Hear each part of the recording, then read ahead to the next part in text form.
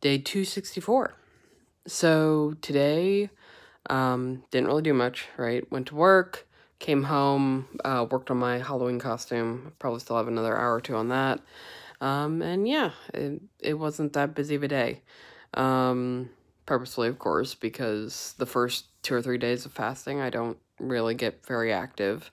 Um, I also was tired from, um, my hike, I ended up taking a nap in uh, the afternoon in my hammock um, because it was a, a nice day and I wanted to take a nap. Um, yeah, that that's pretty much all it was. It you know, there's only so many days that I can be active and do a ton of things. Um, yeah, I did my arm exercises.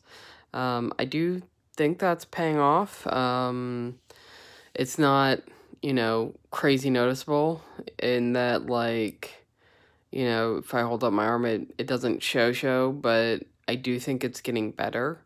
Um, and I think it'll just take time. So, you know, on top of everything, right, you got to give your body time to, to recover. And in this case, I'm giving it time to not stretch out as much. Um, and you know, I'm training it to to be less hanging um, and more form fitting, you know, kind of like what's around my wrist, the skin, right?